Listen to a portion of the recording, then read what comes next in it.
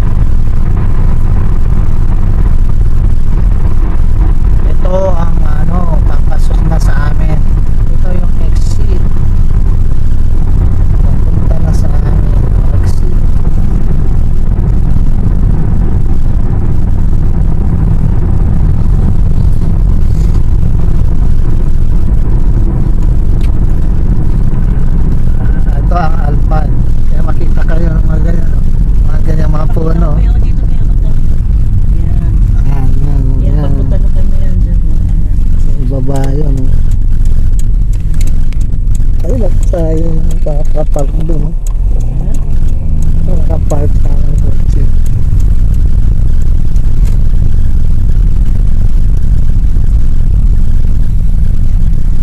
bangko ni tatay sa aming nanay. Yan bangko yan. Bangko nyo.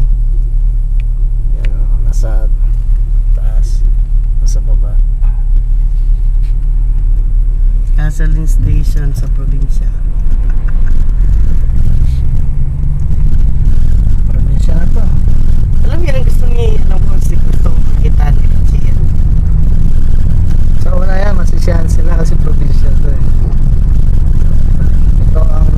sa akin. 911 from protection yan yan nagligtas sa akin. Yan ang nagligtas sa akin.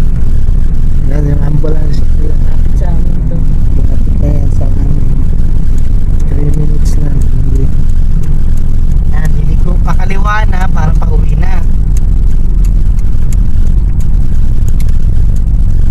Ah haba nito 3 minutes to.